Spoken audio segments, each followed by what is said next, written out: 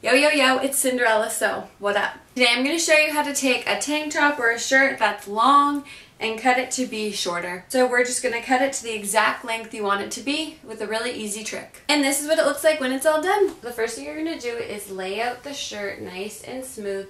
Line up these bottom parts and smooth it out above that for where you're going to cut. Then you're going to take a good pair of fabric scissors and you're going to start cutting on one side and stop when you get to the middle because now you're going to fold it across. Again, line up all the bottom seams to be nice and stacked on top of each other. And now this line is going to show you where to keep cutting across the shirt. So this will make it nice and even. So we'll continue with the fabric scissors, just using that line as guidance and cut right through and you're done. You can take this fabric away and your tank top is now the right size for you.